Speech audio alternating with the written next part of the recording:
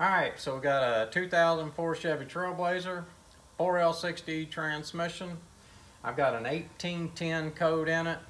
It has to do with the uh, transmission fluid pressure switch.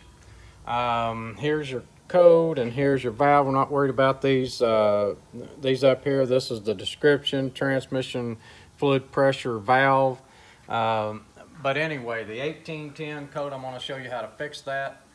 Um, and, and some things to look for uh, when you go into trying to fix this, this code. So let's get into it here. I've already dropped most of the pan bolts down, letting the fluid drain.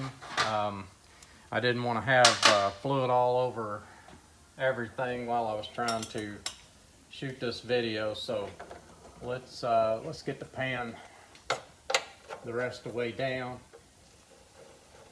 And like I said, I've drained most of the fluid out, but not all of the fluid, so there's still may be a little mess here before we get done. Um, this transmission doesn't want to shift. Uh, it will shift sometimes, but most of the time it just doesn't want to shift. It doesn't want to shift. If it makes the shift, then it'll shift back up and down and just kind of kind of all over the place. Um, but anyway, we're going to change this switch.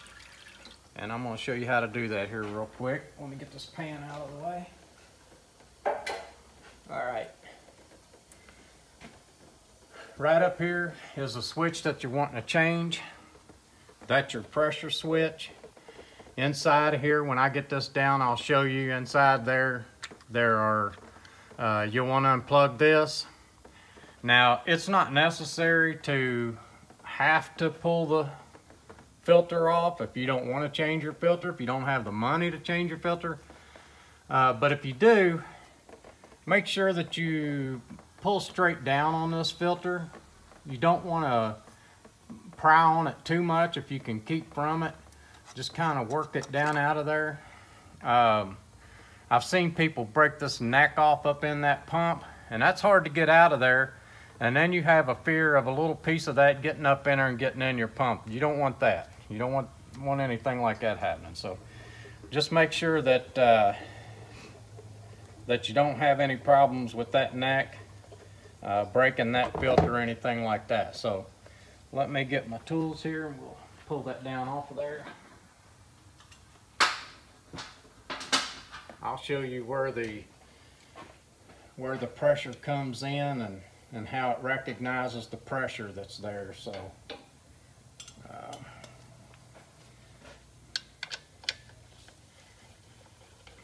I don't have my my gun that I usually use to get these off with, so I'm just going to do it by hand here. Just pull those three 10 millimeter bolts.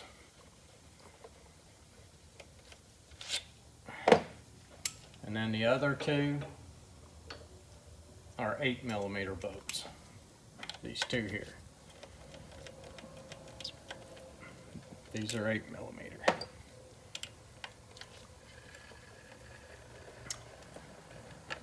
And this is your pressure switch. Now, before I go any further, always, always inspect these wires to see if you don't see anything wrong with your switch, then go back up and inspect these wires and make sure that there's not a broken wire. Um, you know, the, the, before you pull that down, just make sure that there's nothing wrong with that, that wiring on that plug-in. Um, you have a plug that goes into the top of the transmission on this side. You can see the, where the wires are going up. Just make sure you don't have any problems with that wiring up in there. Uh, but the way that this vehicle was coding, um, if you run a lot of codes like we do here, uh, a lot of, lot of different tests, you can pretty much tell when it's an electrical code because it will code immediately. Uh, this vehicle wasn't coding immediately. I had to drive it a few times and then it would code. So uh, usually when it does that, it comes back to ban the switch. But if it codes immediately, just as soon as you turn the key on or start it up, then it could be something uh, in the electrical wiring. Uh, now I see something I don't like here, but I'm not going to talk about that uh, at this point. At the end of the video here, I'm going to show you something that I don't like. If you see something like this in your transmission, you're going to you're going to want to make sure that you uh, uh, let that fluid drain as much as you can. But anyway, these are your pressure switches. You can see right here how the rubber has gone off of this. Uh, this seal right here is, is ate up. Uh, I think this one's bad. This one looks like it's bad. These can't hold pressure. It's going to throw your pressures off and your computer's not going to know how much pressure, where to put the pressure, uh, because these sensors are, are not holding pressure. So I'm going to, uh, after this here, I'm going to take this in the office. I'm going to clean it up. I'm going to show you something I don't like what I see that could mean there's bigger problems in this transmission. So, okay, uh, let's put the other one on. I always soak them in fluid. I don't know why I soak everything in fluid. It's going back in a transmission, but uh, here is your new one. And you just put your two, I like to just start everything and then and then tighten everything up as I'm going.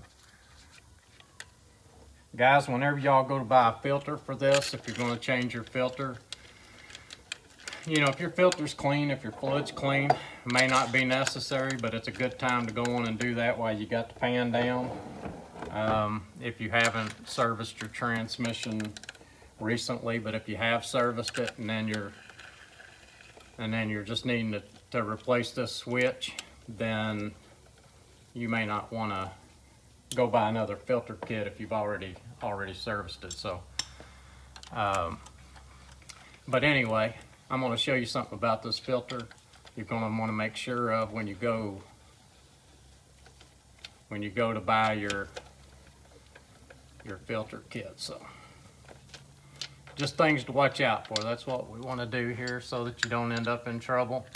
Plug it back up that job is done. This filter, this is a, a what they call a deep pan filter. And you see uh, how, how it drops down. They make a shallow pan filter for the early models. Make sure that you get the right application. If you take yours off, it's got a deep pan filter. Make sure a deep pan filter goes back on it. Um, I'll show you how you can tell. You can tell by looking at the pan. You see that dip? I'm gonna go ahead and pour this fluid out because I am changing it all. You see this pan, how it makes this little cut right here? This is a deep filter. If this pan went straight across, if it was flat on the bottom, if there was no groove here, if it was just flat all the way across, then it would be a shallow filter. So just keep that in mind make sure you get the right application. I have seen people put a shallow filter on a deep pan and that doesn't work very well. So um, anyway, please subscribe. I hope this video helps you. Uh, hold on just a second. I am going to I am to talk about something I saw here that that you might want to to to hang on and, and watch. So.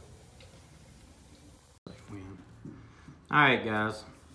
Uh, I was pulling that switch off and I seen something that kind of alarmed me or makes me worry about the rest of the transmission. I'm going to show you what it was. Uh, whenever you see uh, these rubber seals like this, where they look like they have been, um, you know, if it was just one, it wouldn't it wouldn't worry me too much. But because it's two and three, uh, I think someone has overdosed this transmission with some uh, some aftermarket uh, products. Uh, aftermarket products are good if they're used in the right way, but sometimes people uh, will overdose these transmissions. They'll think, you know, well, if a, if a quart of it makes it shift good, then two quarts would have to make it work even better. That's not the way that product is designed, and, and sometimes if you overuse it, this is what you end up with. Uh, it looks to me like that that it has weakened the seals down and it has um, uh, caused these seals to start to deteriorate and collapse. Uh, and and that's what'll happen if you overdose these transmissions with aftermarket uh, with aftermarket stuff. There, there's some good products out there that really helps your shift valves. There's good products out there that will soften these seals up, make them last a lot longer than they normally would. Uh, the bad part about it is if you put too much of this product in there, you're gonna cause your transmission failure because these seals, uh, you're weakening them down, you're softening them up too much, and that's what's what looks like happened here.